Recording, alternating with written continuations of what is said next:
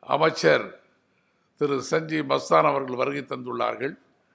வெளிநாட்டு தமிழர்களுடைய நலனை பார்க்கிற அமைச்சர் அவருடைய நலனை பார்க்கிற அமைச்சர் அவர்களுக்காக எப்போதும் உதவிக்காக காத்திருக்கிற அமைச்சர் நமது மாண்புமிகு சஞ்சீவ் மஸ்தான் அவர்கள். வெளிநாட்டிலே யாருக்கு என்ன பிரச்சனை ஏற்பட்டாலும் அவர்களை அவருடைய பிரச்சனைகளை அணுகி அவர்களை அழைத்து வருவது முதல் கொண்டு விமான நிலையத்தில் போய் அவர்களை வரவேற்பது முதல் அனைத்து பணிகளையும் அவரே முன்னின்று செய்வார். போய் வீட்டுக்கு போனால் யார் போனாலும் அவங்க வீட்டில் காஃபியோ இல்லை மத்தியானம் சாப்பாடோ ராத்திரி சாப்பிடோ சாப்பிடாம அனுப்ப மாட்டார். அப்படிப்பட்ட உன்னதமான அமைச்சர் இன்றைக்கு வந்திருக்கிறார். அவர் இந்த மாநாட்டுக்கு தொடர்புடைய அமைச்சர். போன மாநாட்டுக்கு வந்திருந்தார் அதுக்கு முந்தின மாநாட்டுக்கு வந்திருந்தார். ஏன் போன மாநாட்டுக்கு நாம் துபாய்ன்றதுனால அவரால் அந்த வெளிநாட்டுக்கு அனுமதி பெறது இதெல்லாம் கொஞ்சம் இருக்குது அதனால் வர முடியல. அதுக்கு முந்தின மாநாட்டுக்கு வந்தார். நம்ம நடத்துகிற அனைத்து நிகழ்ச்சிகளுக்கும் வருகை தந்து கொண்டிருக்கிறார். அவர் இங்கே வந்திருப்பது எங்களுக்கெல்லாம் மிகுந்த மகிழ்ச்சி அளிக்கிறது. அவரை இந்த அவையின் சார்பிலேயும் உலகத்தமிழர் பொருளாதார மாநாட்டின் சார்பிலேயும் வருக வருக வருக என்று மனமு வந்து வரவேற்கின்றேன். அமைச்சர் அவர்களுக்கு நானும் அண்ணாச்சி பிஜேபி சந்தோஷ் அவர்களும் முன்னாள் சட்ட அமைச்சர் திரு வெங்கடபதி அவர்களும் சேர்ந்து பொன்னாடை அணிவிப்போம்.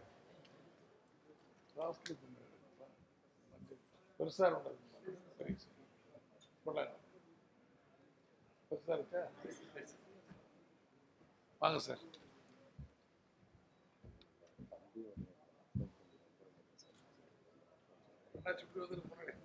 சார். இப்படி சார்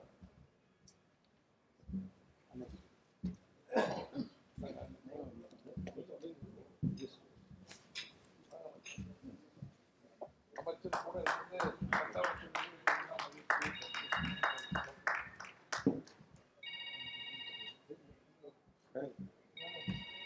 தம்பி அந்த நீங்க அந்த கேமரா இன்னும் தள்ளணும்.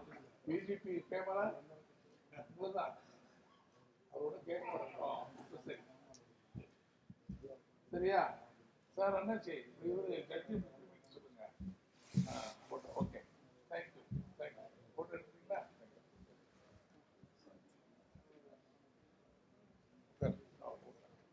மாண்புமிகு அமைச்சர் அவர்கள் இப்பொழுது உரையாற்றுவார்கள்.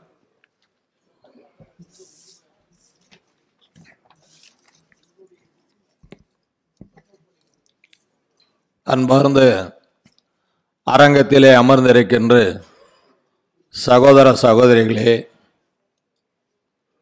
தமிழ் உள்ளங்களே உலக பொருளாதார உச்சி மாநாடு பைத்தாவது உலகத்தமிழ் பொருளாதார மாநாட்டில் கலந்து கொள்ளுகிற வாய்ப்பினை உருவாக்கி கொடுத்து எல்லா வல்ல இறைவனுக்கும் என்னை ஈன்றெடுத்த தாய் தந்தைக்கும் மாண்புமிகு அமைச்சர் என்ற நிலையை உயர்த்தி கொடுத்து தமிழ்நாடு முதலமைச்சர் மக்கள் முதல்வர் மாண்புமிகு முத்துவேல் கருணாநிதி ஸ்டாலின் அவர்களுக்கு முதலில் நான் நன்றி சொல்ல கடமைப்பட்டிருக்கின்றேன்.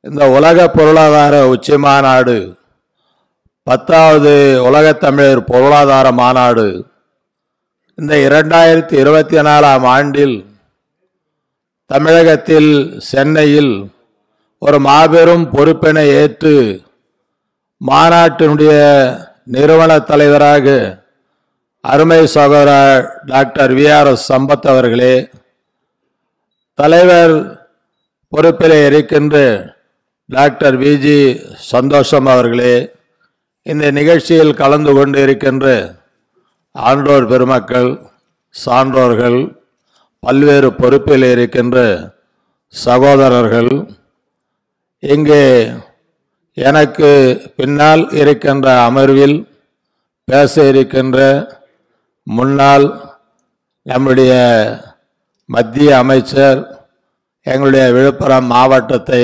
சேர்ந்தவர் என்னுடைய நீண்ட நாள் நண்பர் வழக்கறிஞர் வேங்கடபதி அவர்களே மற்றும் நீதியரசர் ஓய்வு பெற்ற பெரியவர் வள்ளிநாயகம் அவர்களே முன்னாள் நாடாளுமன்ற உறுப்பினர் அருமை சகோதரர் ரவிச்சந்திரன் அவர்களே மூத்த வழக்கறிஞர் தியாகராசன் அவர்களே மற்றும் இந்த நிகழ்ச்சியில் பிரசிடென்ட் ஹோட்டல் உரிமையாளர் ஹஜ் சொசைட்டியினுடைய நிர்வாகி அபுபக்கர் அவர்களே வழக்கறிஞர் சரவணன் அவர்களே சேலம் சட்டக்கல்லூரியை சேர்ந்த அருமை சகோதரி ஆதிலட்சுமி வழக்கறிஞர் அவர்களே டாக்டர் முத்துவேலு அவர்களே மற்றும் வழக்கறிஞர் என்னுடைய நீண்ட நாள் நண்பர் எங்கள் மாவட்டத்தை சேர்ந்த திண்டியவனம் சங்கரன் அவர்களே லோயின் லோகி நாயுடு அவர்களே மற்றும் பல்வேறு பொறுப்பில் இருக்கின்ற நிர்வாகிகளே மயிலம் தமிழ் கல்லூரி தாளாளர் அவர்களே முன்னாள் தூதுவர் மகாலிங்கம் அவர்களே மாயன்மார் கௌரவ தூதுவர் ரங்கநாதன் அவர்களே மற்றும் பல்வேறு பொறுப்பில் இருக்கின்ற நிர்வாகிகளே உங்கள் அனைவருக்கும் நன்றி கலந்த வணக்கத்தினை தெரிவித்து இந்த மாநாட்டில் காலையில் நான் கலந்து கொள்வதாக இருந்தது. ஆனால் எங்கள் துறை சார்ந்து மாண்புமிகு தமிழ்நாடு முதலமைச்சருடைய அந்த உத்தரவின் பேரில் ஒரு ஐந்து அமைச்சர்களை எங்களுடைய துறையின் தலைமையாக ஒரு கூட்டு பொறுப்பாக அமைத்து இன்றைக்கு தமிழகத்தில் உள்ள சிறுபான்மை மக்களுடைய நலன் சார்ந்த ஆய்வுகள் மேற்கொள்வதற்காக அங்கே சென்னையிலே அந்த கூட்டத்தை நடத்த வேண்டிய சூழ்நிலை காலையில் இருந்தது. எனவே தான் நம்முடைய நீர்வளத்துறை அமைச்சர் அண்ணன் துரைமுருகன் அவர்கள் இங்கே துவக்கி வைத்து அந்த நிகழ்ச்சியில் வந்து கலந்து கொள்கின்ற நேரத்தில் உன்னை எதிர்பார்த்து கொண்டு இருக்கிறார்கள் என்று சொன்னார். நான் சொல்லிவிட்டேன் அவரிடத்திலே. இது முதலமைச்சருடைய உத்தரவு என்பதால் இந்த கூட்டத்தை முடித்துவிட்டு தான் மாலையில் அந்த கூட்டத்தில் கலந்து கொள்வேன் என்று சொன்னேன்.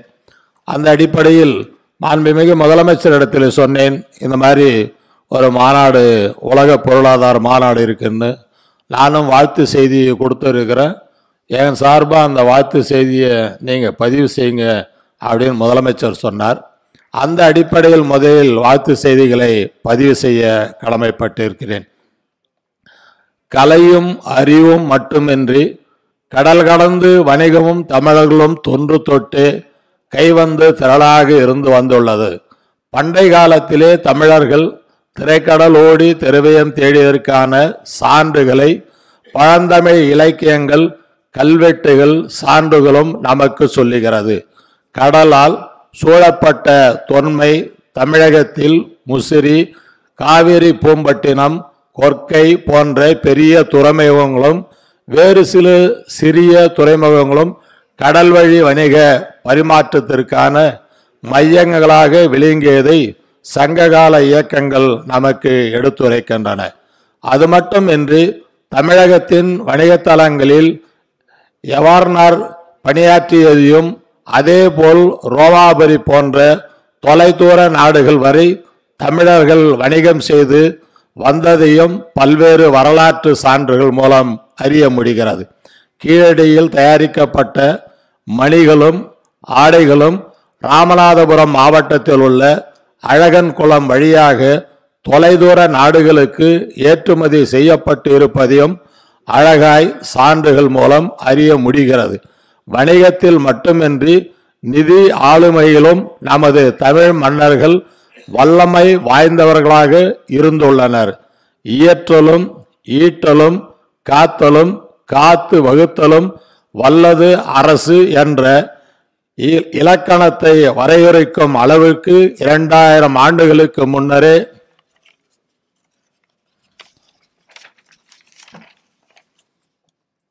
சமூகம் பொருளாதாரம் மேலாண்மையில் மேலான அறிவையும் கூறான பார்வையும் பெற்றிருந்துள்ளது அதன் நவீன காலத்தில் தொடர்ச்சியாகத்தான் தமிழர்கள் தங்களுக்கான பொருளாதார தற்சார்புகளை உறுதிப்படுத்திக் கொள்வதற்கான முயற்சியாக உலகத்தமிழ் பொருளாதார நிறுவனம் ஆண்டுதோறும் உலகத்தமிழ் பொருளாதார மாநாடுகளை நடத்தி வருகிறது.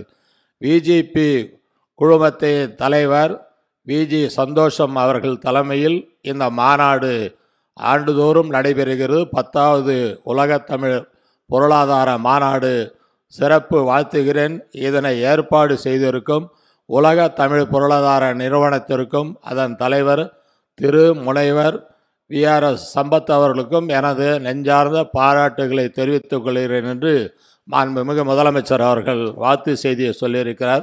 அது பெருமையாக அதை வாசிக்கின்ற வாய்ப்பை கொடுத்ததற்கு நன்றி. உலகத் தமிழர்களுடைய இந்த பத்தாவது பொருளாதார மாநாட்டில் பல்வேறு கருத்துக்களை இங்கே இருக்கின்றவர்கள் எல்லாம் நீங்கள் எல்லாம் முன்வைத்து இருக்கிறீர்கள். என்னை பொறுத்தவரையிலும் அந்த அயலக தமிழர்கள் நலன் சார்ந்த துறை பொறுப்பேற்று இருக்கிற காரணத்தினால் பல்வேறு நாடுகளிலிருந்து நம்முடைய வேர்களை தேடி நம்முடைய எதிர்கால சந்ததிகள் பிள்ளைகள் தமிழர்களுடைய பண்பாடு கலாச்சாரம் இதையெல்லாம் அறிந்து கொள்வதற்காக நம்முடைய மாண்புமிகு முதலமைச்சர் அவர்கள் ஆண்டுக்கு இரநூறு பிள்ளைகளை பதினெட்டு வயதிலிருந்து முப்பது வயது அடைந்த பிள்ளைகளை பெற்றோர்களுடைய உத்தரவு அனுமதியோடு தமிழகத்திற்கு பதினைஞ்சு நாட் சுற்றுலா அவர்கள் பண்பாட்டு சுற்றுலா மூலமாக இந்த தமிழருடைய பெருமையை அறிந்து கொள்வதற்காக தமிழ் மொழியினுடைய பெருமையை கலாச்சாரத்தை அந்த சிறிய குழந்தைகள் தெரிந்து அறிந்து கொள்வதற்காக ஒரு நிகழ்ச்சியை துவக்கி வைத்தார்கள் இந்த ஆண்டு. அதன் தொடர்ச்சியாக மகாபலிபுரத்திலே அந்த நிகழ்ச்சியை துவக்கி வைத்து நேற்றைக்கு செஞ்சிக்கோட்டை பார்வையிட்டு இன்றைக்கு காஞ்சிபுரம் அந்த மாணவ செல்வங்கள் வந்திருக்கிறார்கள். அவர்களெல்லாம் பார்த்து நாங்கள் கேட்கிறோம். ஒவ்வொரு மா மாவட்டத்திற்கும் செல்லும்போது திருச்சிக்கு சென்றீர்கள் மதுரைக்கு சென்றீர்கள் கீழடி பார்த்தீர்கள். நீங்கள் தெரிந்தது என்ன என்பது பார்க்கின்ற நேரத்தில் உண்மையிலே இந்த பதினஞ்சு நாட்களில் அவர்கள் உலகத்தில் வாழ்கின்ற ஆஸ்திரேலியா கனடா ஸ்ரீலங்கா விஜி போன்ற நாடுகளிலிருந்து வந்த அந்த குழந்தைகள் மிக தெளிவாக அந்த உணர்வுகளை பெற்று இந்த வரலாற்றை சிறப்பித்து அவர்கள் உணர முடிந்தது என்பதை விளக்கமாக சொன்னார்கள். தமிழுடைய பண்பாடு தைத்திங்கள் பொங்கல் விழாவை ஒரு ஏற்பாடு செய்து பொங்கல் நிகழ்ச்சியில் நம்முடைய செயல்பாடுகள் எப்படி இருக்கும் என்பதையெல்லாம் அவர்களுக்கு அதை எடுத்து காட்டுகின்ற நேரத்தில் உண்மையிலே மகிழ்ச்சி அடைந்தார்கள். இதை ஏன் சொல்லுகிறேன்னு சொன்னால் உலகம் முழுவதும் வாழுகிற தமிழர்களை ஒன்றாக இணைப்பதற்காக ஒவ்வொரு ஆண்டும் நம்மளுடைய முதலமைச்சர் அவர்கள் பொறுப்பேற்ற பிறகு முதல் ஆண்டு கொரோனா காலம் என்பதால் காணொலி மூலயமாக அந்த மாநாட்டை நடத்தினோம். இரண்டாவது ஆண்டு சென்ற ஆண்டு கலைவாணர் அரங்கத்திலே அந்த மாநாடு நடைபெற்றது. இந்த மூணாவது ஆண்டு இப்போ நந்தம்பாக்கம் வர்த்தக மையத்தில் அந்த மாநாடு வருகின்ற பதினொன்று பன்னிரெண்டு நாளை மறுநாள் நடைபெற உள்ளது அந்த மாநாட்டிற்கு இதனே அழைப்பாக ஏற்று அனைத்து தமிழ் உள்ளங்களும் நீங்கள் கலந்து கொள்ள வேண்டும் என்று முதலில் கேட்டுக்கொள்ள கடமைப்பட்டு இருக்கிறேன் உலகத் தமிழர்கள் பொருளாதார மாநாடு என்கிற நேரத்தில் நம்மளுடைய பெருமைகளெல்லாம் இங்கே பட்டியலிட்டு சொல்லுகின்ற நேரத்தில் பொருளாதாரத்தில் நாம் எப்படி வளர வேண்டும் எந்தெந்த அடிப்படையில் அதை பயன்படுத்தி கொள்ள வேண்டும் என்பதுதான் உங்களுடைய கருத்தாக இருக்கிறது என்பதை என்னால் அறிய முடிகிறது.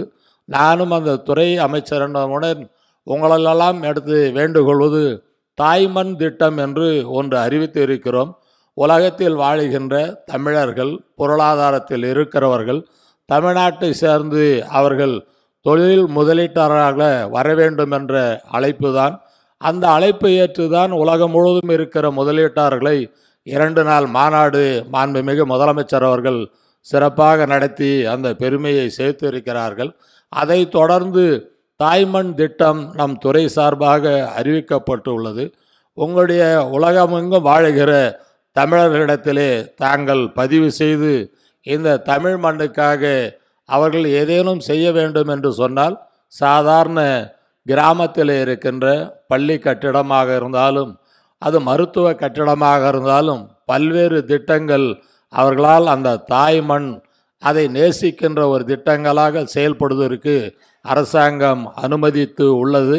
அதை நீங்கள் சரியாக பயன்படுத்தி அதை பெற்று தருமாறு உங்களை வேண்டி விரும்பி கேட்டுக்கொண்டு மாநாடு வெற்றி பெற வாழ்த்துகிறேன். நன்றி வணக்கம். மீண்டும் சனவரி பன்னிரண்டு தேதிகளில் நடைபெறுகின்ற அயலக தமிழர்கள் மாநாட்டில் அனைவரும் தவறாமல் கலந்து கொள்ள வேண்டும் என்று நான் நேரடியாக உங்களை அழைத்ததாக கருதி வர வேண்டும் என்று வரவேற்று நிறைவு செய்கிறேன். நன்றி வணக்கம்.